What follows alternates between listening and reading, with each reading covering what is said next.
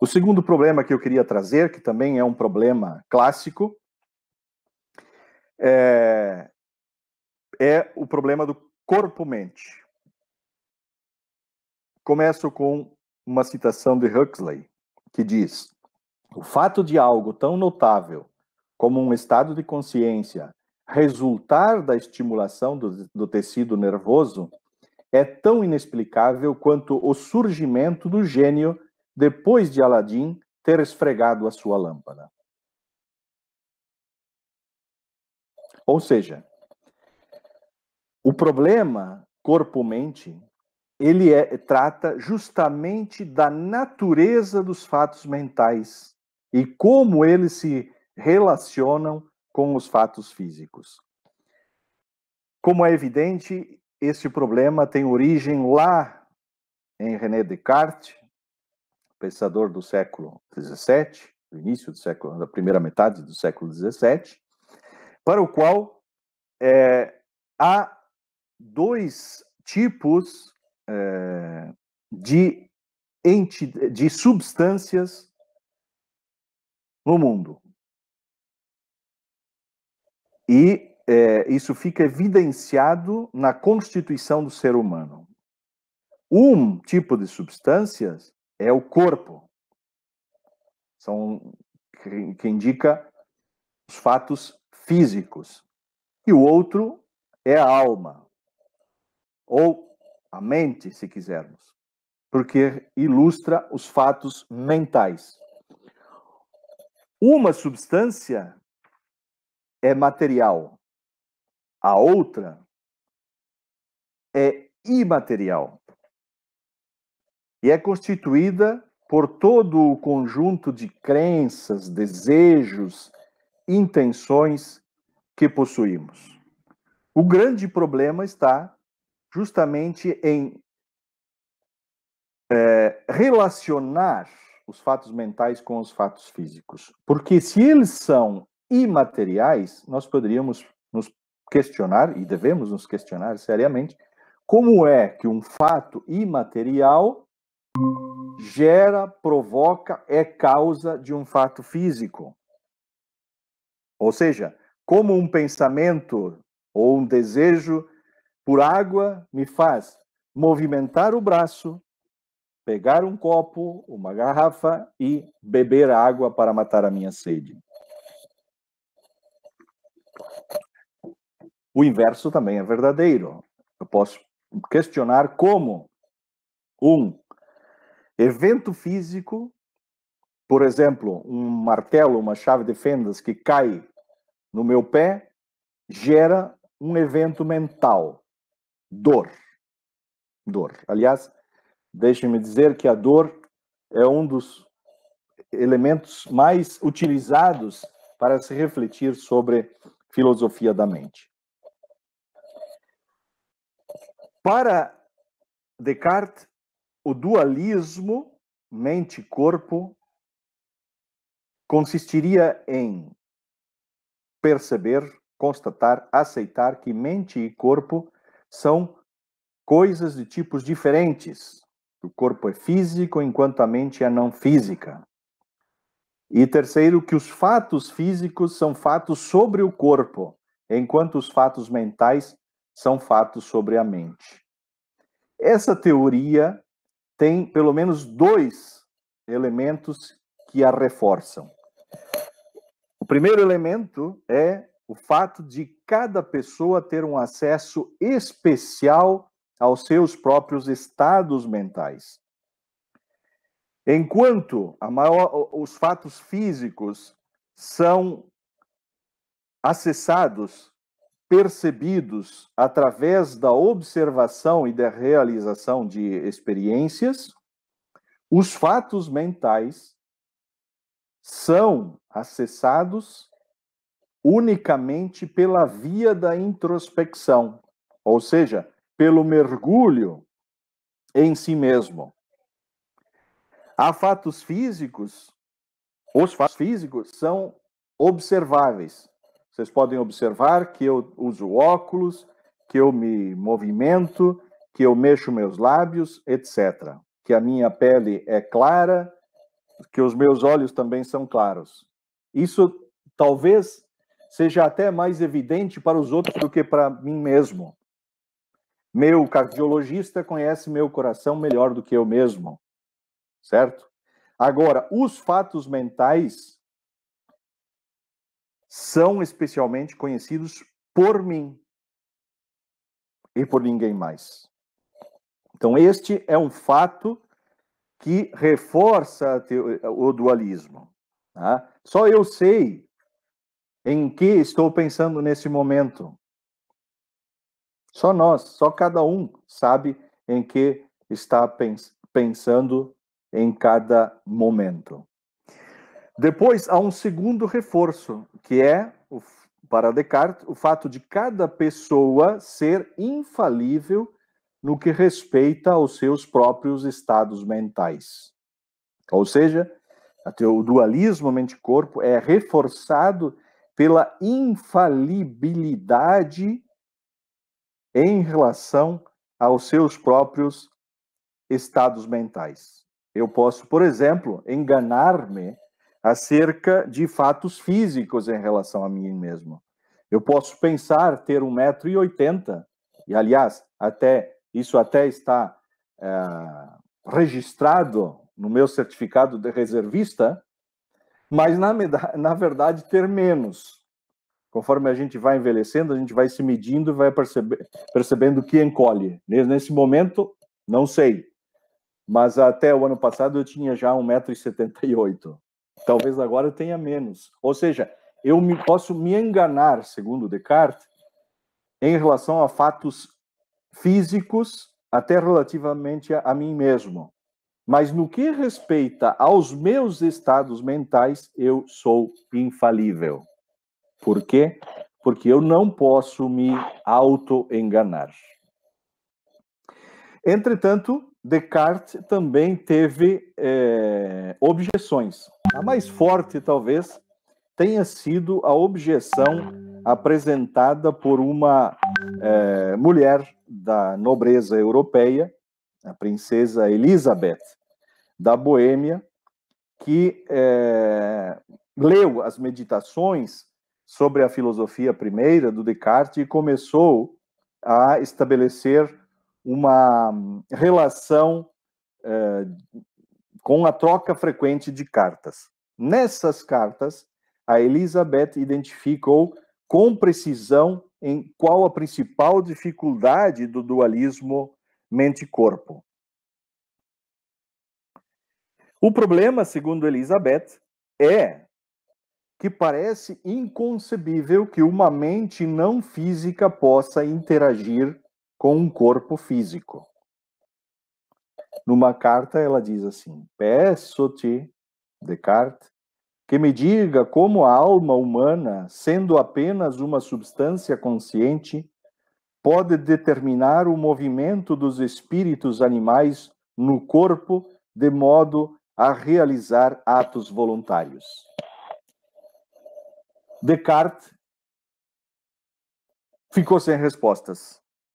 E, apesar disso, o dualismo persistiu até o século XX. Mas depois, por ser incompatível com uma visão contemporânea de ciência, simplesmente enfraqueceu e desapareceu. Dualismo de substâncias desapareceu. É verdade que há contemporaneamente uma versão modificada que é o chamado dualismo de propriedades, mas o dualismo de substâncias simplesmente desapareceu.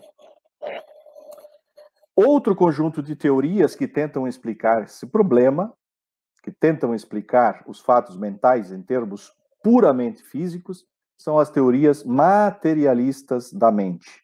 Segundo essas teorias, tudo o que somos é uma vasta coleção de átomos organizados de uma forma complicada, que obedece às leis da física, da química e da biologia.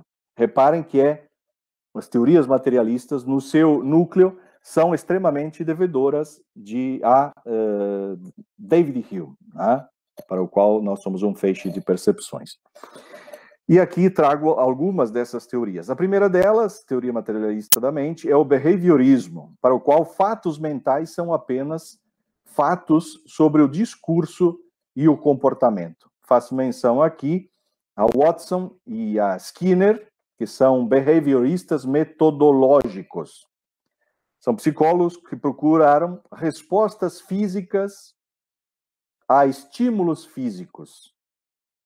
Segundo eles, nós agimos, ou seja, nós nos comportamos em resposta a estímulos físicos, pouco importando os episódios mentais privados.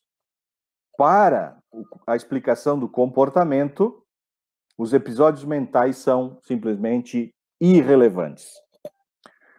Numa outra versão do behaviorismo, que é o chamado behaviorismo analítico, temos é, destacada a função, o papel, enfim, do Gilbert Ryle. Este autor publicou em 1949 o conceito de mente. Nós temos tradução para, para o português e é, sustentou que estados mentais consistem em padrões de comportamento ou disposições para certos comportamentos. Também ele é, negou a existência, pura e simplesmente, dos estados mentais. Diferentemente dos behavioristas metodológicos, que defendiam que os episódios mentais eram irrelevantes, Ryle simplesmente nega a existência dos estados mentais. Tudo o que somos é comportamento. E aquilo que nós temos internamente, privadamente, por estados mentais, não passam de padrões de comportamento ou disposições para certos comportamentos. Assim, nós poderemos eh, dizer com Ryle que o problema cartesiano da relação entre a substância mental e a substância física, os fatos mentais e os fatos físicos, desapareceu. Tudo seria resolvido na interação entre o corpo e o seu ambiente. Também o behaviorismo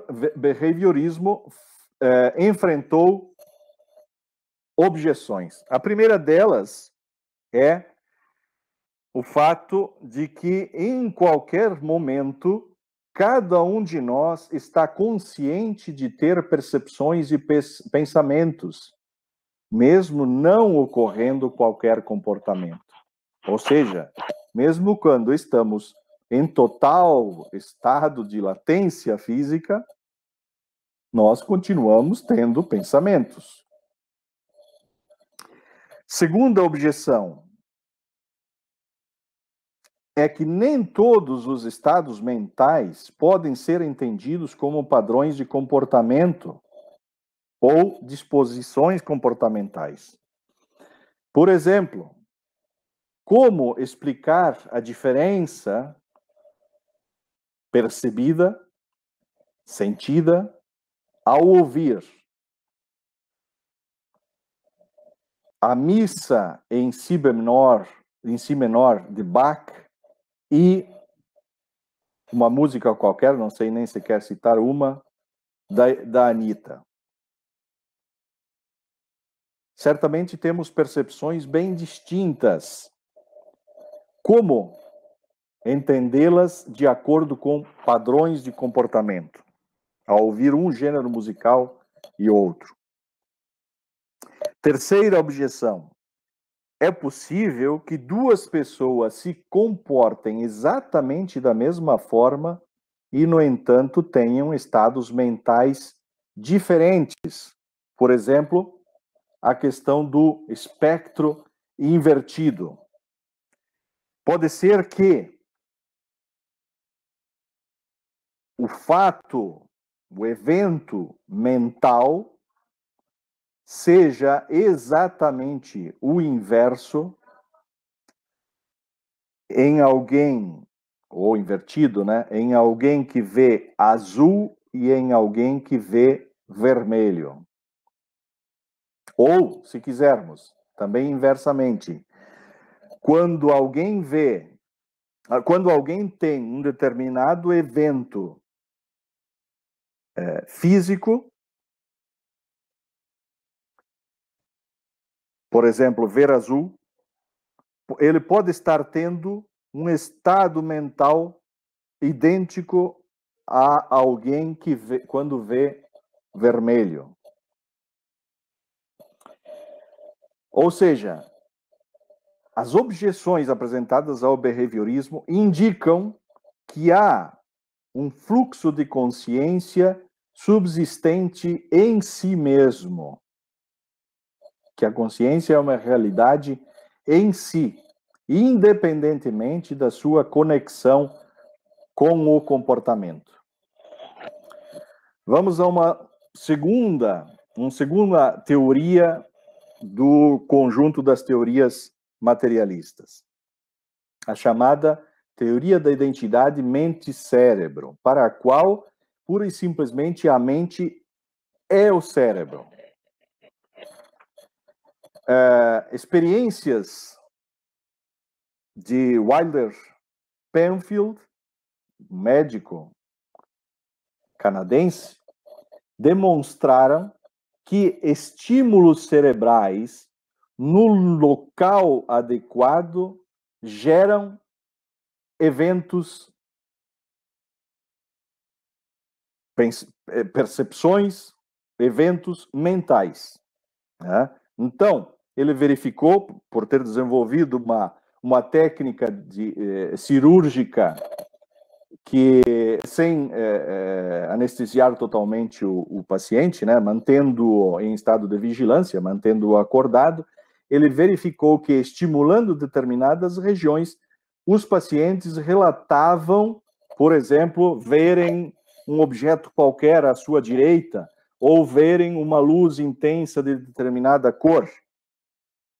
Isso levou a pensar que a mente, ou seja, o conjunto dos estados mentais, seriam puramente estados físicos do sistema nervoso central e que a mente seria a causa interna de certo comportamento. Cito aí alguns autores né, que, que defenderam, defendem essa identidade mente-cérebro e as vantagens de tal teoria. A, a, a, tal teoria explica a natureza dos eventos mentais sem recorrer a fantasmas não materiais. O uso da palavra fantasma aqui é uma, uma referência a Descartes, né?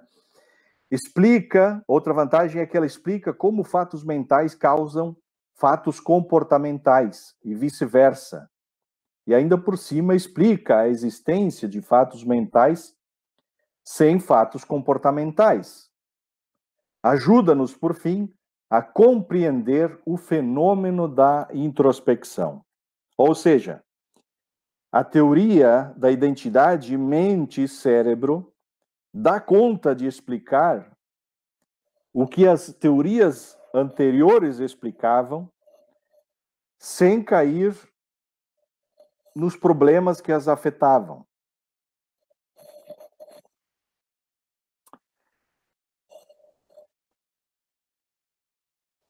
Mas também ela experimenta algumas objeções. A primeira delas é, é que experiências conscientes, como sentir dor, são idênticas a ocorrências neurológicas no cérebro. Como a teoria uh, da identidade mente-corpo escapou dessa objeção, Bom, estabelecendo uma distinção entre identidade espécime espécime e identidade tipo tipo. Vamos esclarecer um pouco mais essa ideia. Suponha que duas pessoas têm no seu bolso, cada uma delas, uma nota de 20 reais. Ambas têm o mesmo tipo de coisa, uma nota de 20 reais. Mas a nota que cada um tem no bolso é um espécime do tipo nota de 20 reais. E assim, nós poderíamos trazer outros exemplos. Pois bem, quando a teoria da identidade mente-cérebro afirma que a mente é idêntica ao cérebro, ela está propriamente se referindo ao tipo de evento, não ao espécime. Isso possibilitou uma. Isso atraiu os adeptos da inteligência artificial. Por quê? Porque trabalhando com tipo e não com espécime, eu poderia, teoricamente, ou em teoria, reproduzir o mesmo tipo de evento, o mesmo, mesmo tipo de ocorrência neurológica no cérebro, num outro substrato físico. Portanto, digamos que não seria relevante para a teoria da identidade mente-cérebro é, ser o cérebro constituído de é, neurônios de material orgânico para gerar uma mente. Isso é uma fortaleza da teoria da identidade mente-cérebro. Mas aquilo que é fortaleza também se converte na sua própria fraqueza. Ora bem, a teoria da identidade mente-cérebro afirma que não importa do que seja feito o substrato, o que importa é o seu funcionamento. Daí a teoria ser chamada funcionalismo, né? Mas vamos imaginar a seguinte situação: suponha um sistema composto que consiste numa vasta coleção de latas de cerveja ligadas por arames e roldanas e alimentadas pela energia de moinhos de vento, de tal forma que o chacoalhar das latas duplica exatamente os disparos de neurônios no cérebro de uma pessoa. Nós teríamos necessariamente de aceitar que essa geringonça, né, segundo a, a, a teoria da identidade mente-corpo, seria consciente. Um outro experimento clássico na literatura é, nesse, que serve como exemplo também, é o do chamado cérebro chinês, né? Suponha que se conseguisse ligar todos os chineses um ao outro e disparar entre eles ocorrências semelhantes às que ocorrem entre neurônios, nós teríamos assim de aceitar que um cérebro chinês seria consciente. Ora bem, eu vou saltar um pouquinho aqui, porque, de fato, a hora já são 12 para as 9, né? É, tem uma questão aqui que é ligada a problemas gerais das teorias materialistas, que é o problema da é a questão da subjetividade, né? Na, a nossa experiência tem um caráter subjetivo, o nosso ser como, né? Quem explora bastante isso é, é Thomas Nagel, né? É, é, ou, se quiserem procurar pelo também é conhecido como o problema dos qualia, né? que remete à particularidade das nossas experiências é, sensoriais, né? E outra, outro problema geral que as teorias materialistas da mente têm de dar conta é a questão da intencionalidade. E aí temos é, que estados mentais são, segundo o, o, a categoria de intencionalidade, são sobre coisas que não eles próprios. E a grande, então, indagação é como é que estados mentais podem ser sobre coisas que não eles e até sobre coisas que não existem. Por exemplo, Pégaso, né? um, um cavalo uh, alado.